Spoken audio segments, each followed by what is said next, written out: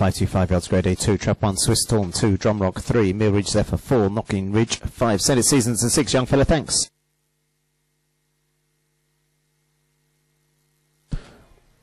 Well, we go for race number 11. Fairly level start between 4 and 3, then comes 2, 5, 1 and 6. They race towards the opening bend. Trap 4 just makes the corner ahead of the others and there's crowding behind. This is help 4. Extended this lead into about a 4, 5 length advantage over 2, 5.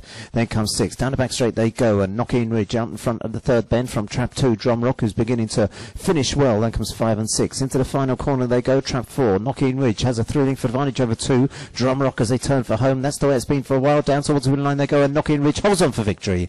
4, 2 and 6 it looks like in third position. Trap 4, Knockeen Ridge taking the 11th race.